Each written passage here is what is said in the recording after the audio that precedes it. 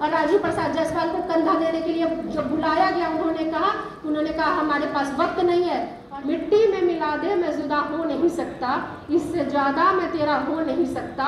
बस एक बार मेरी आवाज़ से आवाज़ मिला दे, फिर देख इस बिहार में क्या हो नहीं सकता कि आज जो व्यवसायी वर्ग हमारे सामने है, कहीं ऐसा ना हो कि हम सब सिर्फ़ इतिहास बन के रह जाए। तारापुर चुनाव छोड़ करके और मैं वहाँ कैमूर में गई थी, जो लोग यहाँ पर होंगे, उनको ये बात उनके कर्म ऐसे थे जिन्होंने दानवीर कर्म को भी कहीं पीछे छोड़ दिया हो, अगर तुलना की बात करें तो।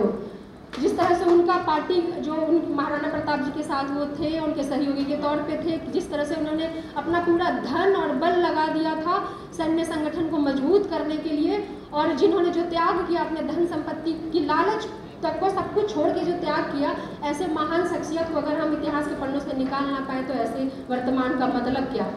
साथ ही मैं ये कहना चाहती हूँ कि आज जो व्यवसायी वर्ग हमारे सामने है, कहीं ऐसा ना हो कि हम सब सिर्फ़ इतिहास बन के रह जाए और वर्तमान में कोई याद करने वाला ना हो। जिस तरीके से आज हत्याओं का दौर चल रहा है, जिस तरीके से आज व्यवसायी वर्ग के साथ लूटपाट रही है तो हमें डर है कि अभी तो 16 साल हुए हैं।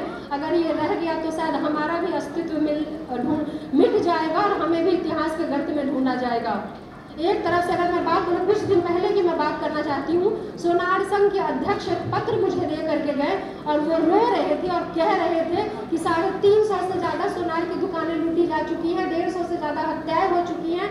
इसी तरह से बलात्कार की घटना, लूटपाट की घटना सबसे सीधे साधे वर्ग के साथ किया जा रहा है। ऐसा लग रहा है कि ये सरकार आपको खुली चुनौती दे रही है कि तुम मुझे वोट दो, मैं तुम्हें गोली दूँगा और मैं तुम्हें डकैती करूँगा तुम्हारे साथ ये खुलेआम ये वर्तमान सरकार आप लोगों को चैलेंज कर रही है, हम लोगों को चैलेंज कर रही है तुम सबसे सीधे साधे बनियावर तुम हमारा बिगाड़ क्या लोगे? तुम्हारे एक एक वोट के बदले हमने एक एक बुलेट रखा हुआ है, ये चैलेंज कर रही है और ये आपको दिखाना है। आपको दिखाना है कि आप किसी के बंधुआ वोटर नहीं है। या आपको दिखाना है कि आपकी सुरक्षा, आप याद कीजिए कि आप कब कब ज़्यादा सुरक्षित थे। आप याद कीजिए कि आज माननीय तेजस्वी प्रसाद यादव जी जब कभी बात करते हैं, क्या वो जात की बात करते हैं? वो ए टू जेड की बात करते हैं और ए टू जेड में सब हैं। सभी जाति के लोग हैं। इसका मतलब वो जमीनी मुद्दों की बात करते हैं और आज हमारी लड़ाई जान बचने की होनी चाहिए। ज़िंदा रहना विकास हो गया है इस सरकार में। अगर आप जीवित बच गए, आप सुरक्षित दुकान खोल करके रात को घर पहुँच गए और आपकी पत्नी ने आपको रात का खाना खिला दिया तो यही विकास है। ये वर्तमान सरकार ने यही दिया है। और हमें सावधान रहने की ज़रूरत है कि नहीं बटेंगे। होंगे आप जिस जाति से प्रधानमंत्री, लेकिन आज हमारी जाति को रोज गोली मारा जा रहा है। गई थी मैं मेरे ही विधानसभा में, जहाँ पर कि गोलियों से भून दिया गया। गई थी मैं बांका में, जहाँ आठ साल की बच्ची के साथ चार लोगों ने बलात्कार किया।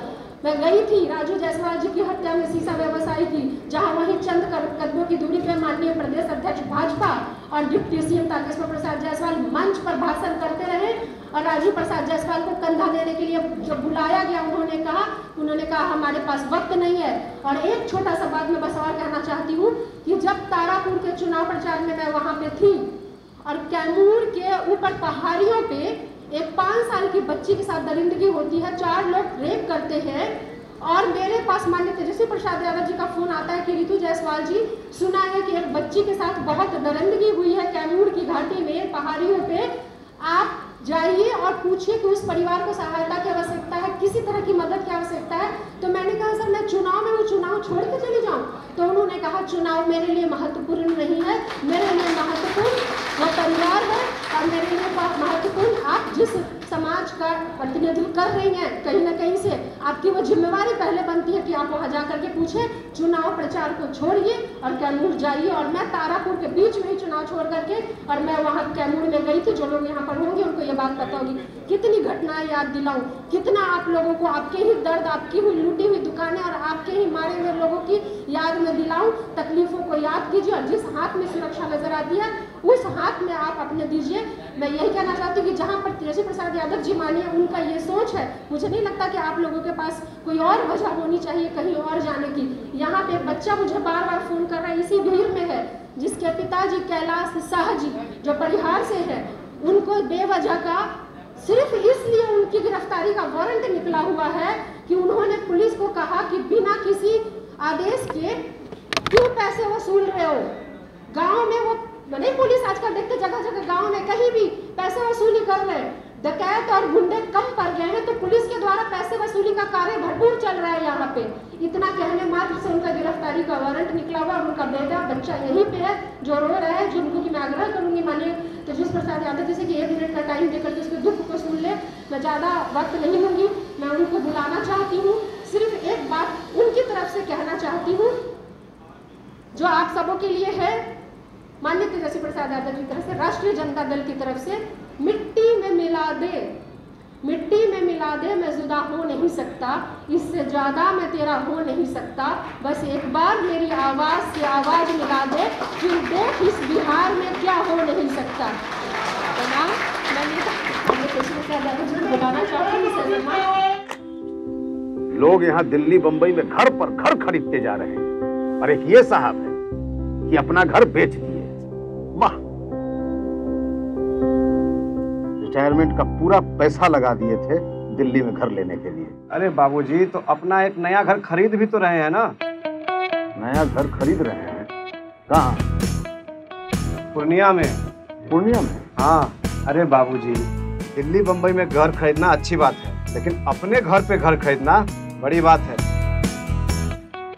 देखिए पूर्णिया में पनोरमा सिटी और पनोरमा हाइट दोनों जगह का ऑप्शन उपलब्ध है। देखिए और बुक कराइए। मतलब अपने शहर में अपना घर। जी, बिल्कुल। अब कीजिए घर वापसी पूर्णिया के पैनोरमा सिटी और पैनोरमा हाइट में। पैनोरमा सिटी और पैनोरमा हाइट। आपके शहर में आपका अपना घर।